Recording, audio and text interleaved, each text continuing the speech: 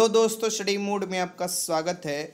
Bihar excise constable की नई भर्ती आया है। फॉर्म अप्लाई भी शुरू हो चुका है। फॉर्म अप्लाई करने से पहले इस बात का ध्यान रखिएगा कि आपकी जो उम्मीदवारी है, वो रद्द ना हो पाए। उम्मीदवारी एग्ज़ाम से पहले भी रद्द हो सकती है। डॉक्यूमेंट वेरिफिकेशन के समय भी उम्मीदवारी आपकी रद्द हो सकती है। यानी कि मेहनत करने के बाद भी आपका रिजल्टेंट सही तरीका से नहीं मिलेगा, ठीक? तो क्या बात की सावधानी रखनी चाहिए आप लोगों को? हज़ारों अभ्यर्थी क्या गलती कर देते हैं फॉर्म भरते समय जो आप गलती नहीं कीजिएगा? इस वीडियो में सभी जानकारी आपको मिलने वाला है। आपके ऑफिशियल नोटिस में ये सभी जानकारी दिया हुआ है। चलिए सबसे पहले मैं आपको ऑफिशियल नोटिस पर लेकर चलता हूँ। अगर आपको फाइनल रिज़ल्ट में स्थान बनाना है तो अभी से ध्यानपूर्वक फॉर्म भरना होगा और फॉर्म भरते समय इस बात को भी ध्यान में रखना होगा। चलिए मैं नोटिस आपको दिखाती हूँ। अभ्यर्थी फॉर्म भरेंगे। तो ये महत्वपूर्ण निर्देश ध्यानपूर्वक देख लीजिए। ये आपका ऑफिशियल नोटिफिकेशन है और उसी के पॉइंट नंबर सोलह में आइएगा। तो देखिए, दिया हुआ है कि ऑनलाइन आवेदन पत्र भरने के लिए आवश्यक निर्देश। तो आवश्यक निर्देश में क्या दिया हुआ है कि ऑनलाइन आवेदन पत्र भरने के लिए वेबसाइट पर आवश्यक दिशा निर्देश उपलब्ध है। अभ्यर्थी को सलाह दी जाती है कि आवेदन पत्र भरने से के पूर्व सभी दिशा निर्देश को भली भांति अध्ययन कर ले तथा आवेदन पत्र भरने के क्रम में सभी सूचनाएँ सही सही अंकित करें। अब यहाँ पर ये महत्वपूर्ण है कि यदि कोई सूचना झूठी या गलत पाई जाएगी तो आवेदन पत्र को रद्द करने के साथ साथ आवश्यक कानूनी कार्रवाई की जाएगी। ये साफ़ साफ़ यहाँ पर लिखा हुआ है। अब ये रद्दी रद्द आपको आवेदन पत्रता जो रद्द हो सकता है या उम्मीदवारी रद्द हो सकती है, ये दो, एक तो फॉर्म भरते हैं, उसके बाद जब स्क्रूटनी होता है, उस समय भी हो सकती है। एग्ज़ाम के टाइम भी आप देखिएगा कि बहुत लोगों को एग्ज़ाम हॉल में भी नहीं जाने दिया जाता है, क्योंकि कुछ महत्वपूर्ण जो जानकारी है वो नहीं अच्छे से भरे रहते हैं। एग्ज़ाम होने के बाद भी बहुत लोगों का उम्मीदवारी रद्दीकरण किया जाता है। इसके डॉक्यूमेंट वेरिफिकेशन के समय भी देखिएगा या फ़िज़िकल के समय भी। तो ये यहाँ पर देख सकते हैं साफ़ साफ़ इस बारे में लिख भी दिया गया है कि प्रमाण पत्र को मिलान के समय यदि इनमें से कोई भिन्नता पाई जाती है तो अभ्यर्थी की उम्मीदवारी रद्द कर दी जाएगी। तो अब अभ्यर्थी की उम्मीदवारी एग्ज़ाम से पहले भी रद्द की जा सकती है और एग्ज़ाम के बाद भी रद्द की जा सकती है। तो फॉर्म भरते समय इस बात को भली भांति ध्यान रखना होगा। अब ये उम्मीदवारी कैसे रद्द कर दी जाती है, ये उन्नीस नंबर पॉइंट में आइएगा, यहाँ पर आप देख सकते हैं। तो दिया हुआ है। इसमें आप देखिएगा ध्यानपूर्वक उम्मीदवारी रद्दीकरण। आवेदक की उम्मीदवारी किसी भी समय निम्नलिखित आधार पर बिना कारण बताए रद्द की जा सकती है। बिना कारण बताए। अब ये पूछिएगा तो इस कारण आपको वो कब बताया जाता है? जब आरटीआई आप लगाओगे तो ठीक?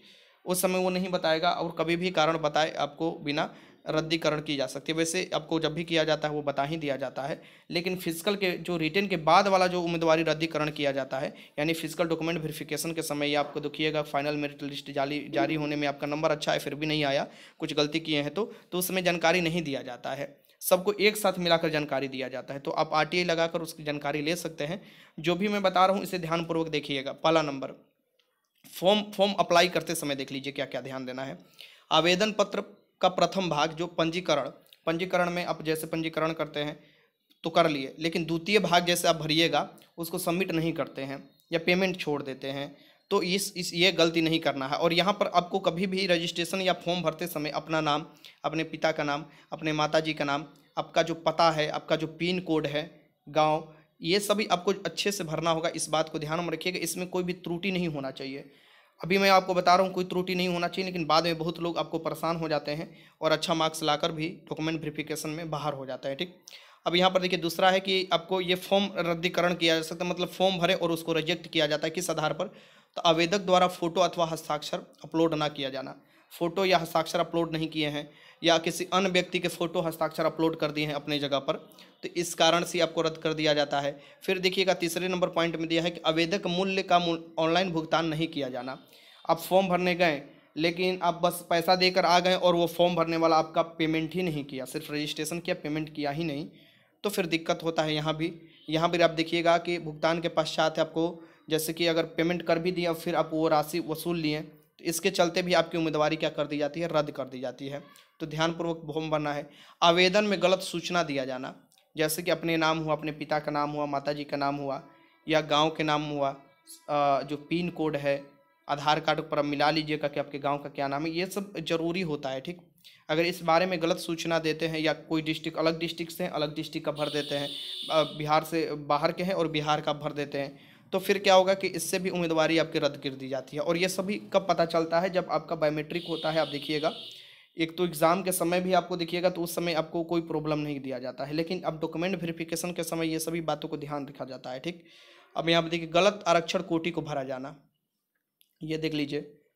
ये गलत आरक्षण कोटि को भरा जाना अथवा आरक्षित कोटि के संबंध रखने वाले आवेदक द्वारा किसी आरक्षण कोटि का दावा किया जाना, अनारक्षित वाले। मतलब यहाँ पर अनारक्षित लिखा हुआ है।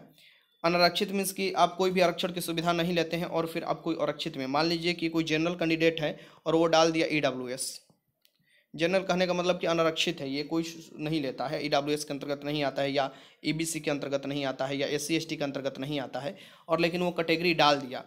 तो उससे क्या होगा? उसके कारण भी उसकी उम्मीदवारी रद्द कर दी जाती है। और ये कब किया जाता है? तो ये किया जाता है डॉक्यूमेंट वेरिफिकेशन के समय, यानी कि फ़िज़िकल के समय आपको किया जाता है। स्कूटनी के समय किया जाता है। एक बात ध्यान में रखिएगा, ठीक? या आगे भी और भी है, जैसे जन्म तिथि यहाँ पर देख लीजिए जन्म तिथि और जो अगर गलत भरते हैं तो वो भी हो जाता है। वो तो कट ऑफ़ को ही प्रभावित कर देता है जन्म तिथि। एक तो फॉर्म डेट वाला कट ऑफ़ और फाइनल भी कट ऑफ़ को प्रभावित कर देता है। इसके कारण ही आप देखिएगा कि जन्म तिथि अगर गलती करते हैं तो आपको फाइनल मेरिट लिस्ट से बाहर कर दिया जाता है, ठीक?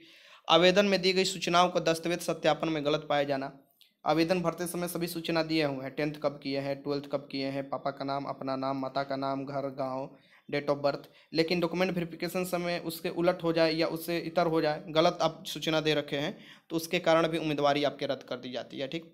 आवेदन में गलत लिंग भरना, मान लीजिए लिंग भरना मतलब मेल के फीमेल फीमेल के मेल, ऐसा तो होता नहीं अक्सर, अब देखिएगा तो लेकिन ऐसा हो जाता है तब पर भी उम्मीदवारी रद्द कर दी जाती है। और ये तो एग्ज़ाम के समय ही मतलब प्रॉब्लम क्रिएट कर देता है। आवेदक का उम्मीदवारी की पात्रता पूर्ण न करना। जैसे कि विर्दनिष्ठ तिथि को निर्धारित उम्र सीमा के बाहर का होना कटअप तिथि और शैक्षणिक योग्यता धारण न करना, भारत के नागरिक ना होना, ये बहुत महत्वपूर्ण पॉइंट है, ठीक? यहाँ पर लोग कन्फ्यूज़न हो जाते हैं। देखिए, एक जनवरी 2022 आपका कट ऑफ़ आपको है। इसी के पहले आपके आपके पास सभी डॉक्यूमेंट्स होना चाहिए। जैसे ट्वेल्थ पास का आपका होना चाहिए, इससे पहले, एक बात ध्यान में रखिएगा। आपके पास डेट ऑफ़ बर्थ जो है, वो, जो, उस समय से और एक जनवरी 2022 के बीच में जो एज है उस एज को आपको मेंटेन करना होगा। कहने का मतलब जिस कैटेगरी में आपको मैंने कल वाला वीडियो में बताया था कि किस किस कैटेगरी के कितना एज है तो उसमें यह बात ध्यान में रखना होगा और शैक्षणिक योग्यता भी उसी आपको कट डेट में निर्धारित किया जाएगा। अगर कुछ गलत सूचना देते हैं तो फिर आपको बाद में बाहर कर दिया जाता तो कोई इतना मेहनत लगाने से कोई फ़ायदा होता नहीं है। सक्षम पदाधिकार द्वारा निर्गत प्रमाण पत्र का प्रस्तुत न किया जाना। मतलब कि ये तो आप समझ सकते हैं कि आम आम है मतलब कि जो भी सर्टिफिकेट है वो सक्षम पदाधिकार द्वारा आपको निर्गत किया होना होना चाहिए और वहाँ पर प्रस्तुत करना है डॉक्यूमेंट वेरिफिकेशन के समय। प्रमाण पत्र का सही स्वरूप में प्रस्तुत और समर्पित ना करना। जैसे, आरक्षित कोटि की विवाहित महिला, यहाँ पर देख लीजिए, अब यहाँ पर क्या है कि अगर कोई आरक्षित कोटि की विवाहित महिला है, आरक्षण के लाभ लेती है और उनका शादी हो गया तो अपना पति के नाम से बहुत लोग बनवा कर चला जाता है। ऐसा नहीं करना है। आरक्षण जो होता है, ये जन्म से होता है। कहने का मतलब कि पिता के नाम से ही बनेगा। विवाहित हो, अविवाहित हो, उससे कोई फ़र्क नहीं पड़ता है, ठीक? तो महिला जो भी अविवाहित भी है, अगर डालेंगे तो पिता का नाम डालेंगे और पिता के नाम से ही सर्टिफिकेट बनवाएँगे। एक बात ध्यान में रखिएगा, कोई भी कन्फ्यूज़न नहीं होना चाहिए और यहाँ पर पति के नाम से नहीं बनवाना है। तो ये भी आपको यहाँ पर जानकारी दिया हुआ है। आवेदक द्वारा आवेदन में स्वयं को आरक्षण कोटि का होने का दावा करना, परंतु दस्तावेज़ जाँच में उनकी दूसरी आरक्षण कोटि, अनारक्षित कोटि को पाया जाना। आप हैं मतलब कि बी सी वन लेकिन बी सी सेकेंड से टू में डाल दिए। बी सी टू है, लेकिन बी सी वन में डाल दिए। एस सी है एस टी में डाल दिए। एस टी एस सी में डाल दिए। ई डब्ल्यू एस है एस सी में डाल दिए फॉर्म ई डब्ल्यू एस है जनरल से गोरखा में डाल दिए। तो ऐसे आप देखिएगा कि पिछले बार भी बहुत से ऐसे अभ्यर्थी हैं जो कि बाहर हुए थे इस कारण से। तो ये भी आपको गलती नहीं करना है। जिस कैटेगरी में है, पहले पता कर लीजिए किस कैटेगरी के अंतर्गत हम आते हैं और वहीं आपको फॉर्म अप्लाई करना है, ठीक? अब यहाँ देखिए आवेदक को किसी आपराधिक कांड या गतिविधि में सम्मिलित पाया जाना, इसकी जानकारी नहीं दिए हैं या आपराधिक कांड में है, कुछ कांड किए हैं, उसमें आपको सम्मिलित हैं और छिपा रहे हैं तो वो तो कानूनी कार्रवाई भी किया जाता है और उम्मीदवारी भी रद्द किया जाता है आपका। आवेदक द्वारा लिखित परीक्षा अथवा शारीरिक दक्षता परीक्षा के क्रम में धोखाधड़ी करना या प्रयास करना, इनमें या आपको धोखाधड़ी करना फ़िज़िकल के समय भी रिटर्न के समय भी, कभी भी, या इसका प्रयास करना, ये भी आपको एक क्राइम ही होता है और समझिए इसके लिए सज़ा के साथ साथ आपको उम्मीदवारी भी रद्द किया जाता है कि आगे की एग्ज़ाम में भी आपको बैठने का मौका नहीं मिलेगा। आवेदक द्वारा परीक्षा के कार्य में संलग्न कर्मियों के किसी भी प्रकार के प्रलोभन देना अथवा उन्हें देने का प्रयास करना। मान लीजिए रिटर्न एग्ज़ाम हो रहा है, उस समय बहुत से लोग क्या करते हैं कि वहीं के अंदर में जो है इन्विलेटर है उनसे सेटिंग वूटिंग के बारे में ये सब बात करते हैं, या जो भी करते हैं, बाहर से भी या आपको बहुत से ऐसे कॉल भी आते हैं, आप लोग जानते हैं। तो ये सब भी अगर इसमें पता चल रहा है कि आपने प्रलोभन दिया है, आपने ऐसा काम किया तो वो उनका तो जॉब जाएगा ही जाएगा, आपको भी साथ में जेल होगा और उम्मीदवारी रद्द कर दी जाएगी, ठीक? फिर आता है कि अन्य कोई परिस्थिति में जो विज्ञापन की शर्तों के विरुद्ध हो अथवा समान रूप से भी प्रतियोगिता परीक्षा के कदाचार मुक्त संचालन के विरुद्ध पाई जाए। करने का मतलब कि अगर एग्ज़ाम देने जाते हैं, वहाँ बदतमीजी करते हैं या मारपीट करते हैं।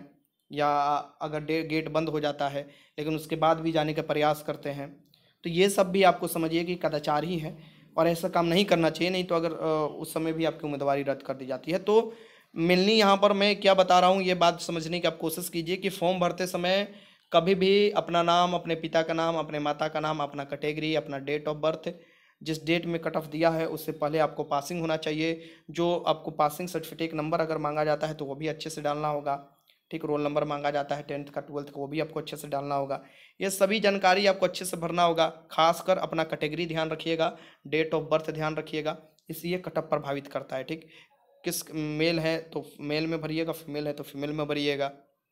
अपना ये निवास ध्यान रखिएगा, जिस डिस्ट्रिक्ट से आते हैं वो भी ध्यान में रखिएगा, और यूपी के हैं कि यूपी के बाहर के हैं? मतलब यूपी के बाहर के मतलब बिहार मतलब माफ़ कीजिएगा, बिहार के हैं कि बिहार के बाहर के हैं? अगर मान लीजिए कि बिहार के हैं तो अगर किसी आरक्षित कोटि में आते हैं तो आरक्षण की सुविधा ले सकते हैं, अगर उसके लिए एलिजिबल है तो। अगर बिहार के बाहर कोई भी कैंडिडेट है तो अनारक्षित में वो डालेंगे, तब जनरल में डालेंगे, वो अनारक्षित सीट में पर फाइट करेंगे। ये सब आपको बात को ध्यान में रखना होगा फॉर्म भरते समय।